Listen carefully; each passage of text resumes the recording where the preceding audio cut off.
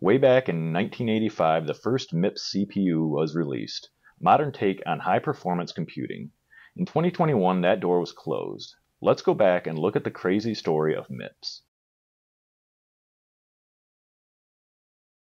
Welcome to another episode of Brain Dump. I'm Josh, standing in for today's video. Let's dive right in. Leading up to MIPS. Before the 1970s, CPU design was really focused on functionality rather than form. Every computing firm was making their own processors for their own computers, pushing their own programming languages and operating systems. Oftentimes, the CPU's architecture was designed to make the job of compilers easier where the intended programming language functions could map almost directly to silicon or through a layer of microcode underneath the exposed interface. CPU instructions created to do complex jobs would make software development easier, but that didn't come for free. Those instructions would require a lot more logic to implement, which translates into larger dies, more heat, and difficulty raising clock speeds to advance performance.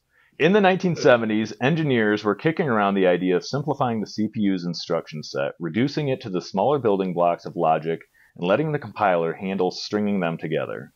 This concept was coined as RISC, or Reduced Instruction Set Computer, and the old way was named CISC, or Complex Instruction Set Computer. In 1979, an engineer named David Patterson went to Berkeley and started the Berkeley RISC program, funded by a grant from DARPA. David and his team had the opportunity to research and develop in a pure fashion, without a direct requirement of corporate profitability. This allowed them to focus on not just getting things done, but getting them done better or more cleanly. The team would go on to create two processor designs, creatively named RISC and RISC-2. You've probably never heard of them, but they were the direct basis of the SPARC processors later produced by Sun. In 1981, John Hennessy at Stanford would create a similar project for grad students, and in 1983 had a chip of his own. His team would aggressively push for higher clock speeds, using pipelines to allow their CPU to effectively split execution into stages.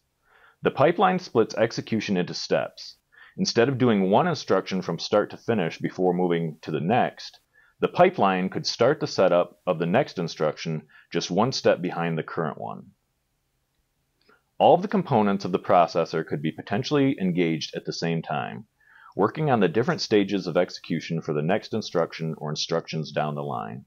They called this project MIPS, or Microprocessor Without Interlocked Pipeline Stages. The advantages of MIPS were easily apparent in practice, with clock speeds reaching well above contemporary CISC processors. It even turned out that many complex operations were actually faster, clock for clock, broken down on a RISC processor than running as a single instruction on a CISC one, MIPS computing systems.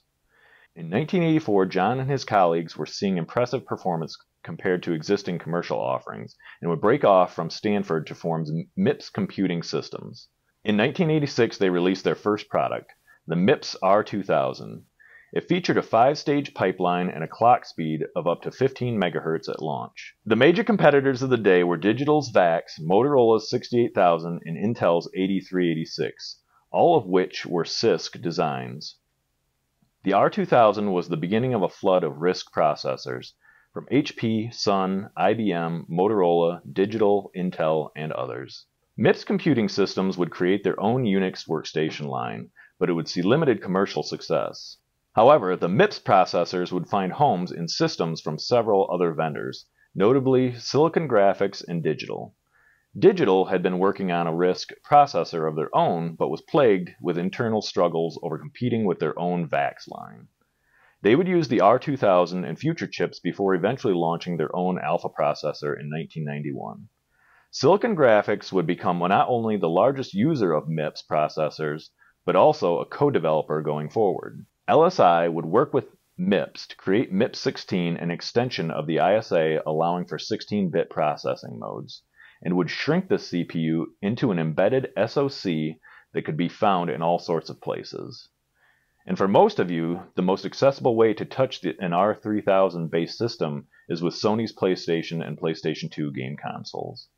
The work with LSI would be critical a few years later as it really got MIPS into the embedded space. But let's not get too far ahead of ourselves.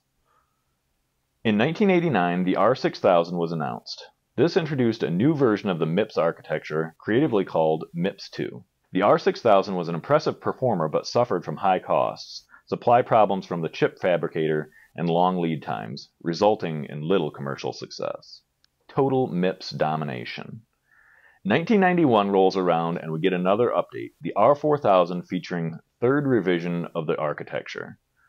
Of course it's called MIPS 3 and it features 64-bit design, a longer 8-stage pipeline and clock speeds of up to 100 MHz. Significant efforts were made to push the R4000 into personal computing, but the performance advantages above Intel's 8486 alone weren't enough to compete with the Wintel platform, especially with the Pentium line on the horizon. SGI, however, had a very different customer base, and the R4000 was a massive success for them.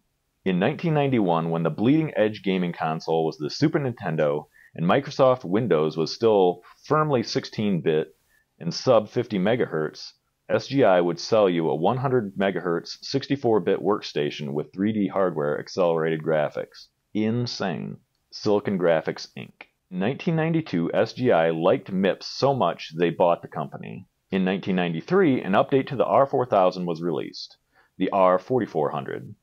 This was almost purely a speed bump, increasing cache sizes and boosting clock speeds from a previous maximum of 100 MHz all the way up to as much as 250 MHz. Again, the primary user was Silicon Graphics, but many other vendors would embrace the R4400 for their flagship servers and workstations. Microsoft would even build a port of their Windows NT workstation product for some of these systems, giving users a non-Unix option designed to integrate with their existing desktop computer infrastructure.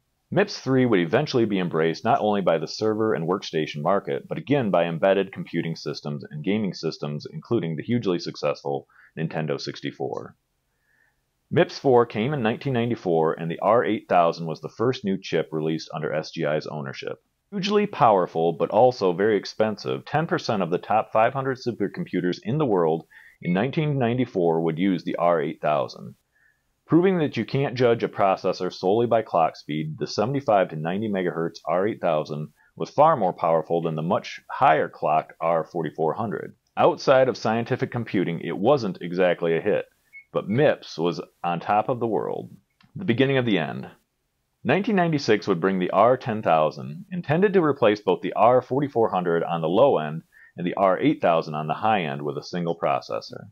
The new R10K featured a superscalar design with out-of-order execution, giving yet another big performance boost and enabling another big clock speed boost, up to 195 MHz. But yet again, availability and cost were big issues as fabs struggled to produce them.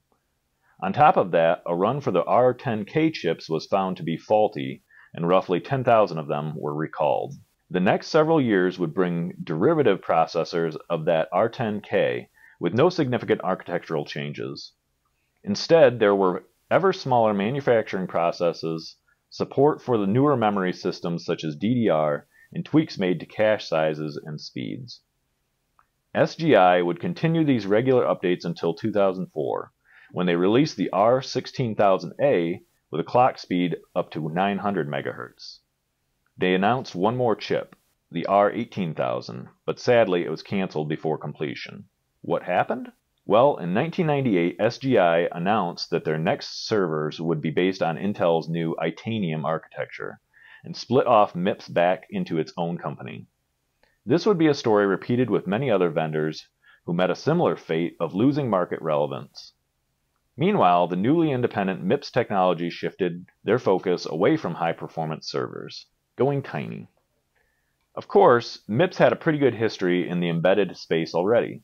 Changing the focus from massive servers and high performance graphics workstations to highly integrated, low wattage SoCs wasn't as big of a change as you might think. They would split the architecture into two segments, developing both 32 and 64 bit designs, and license them to chip makers such as Broadcom, LSI, Ralink, and Ingenic.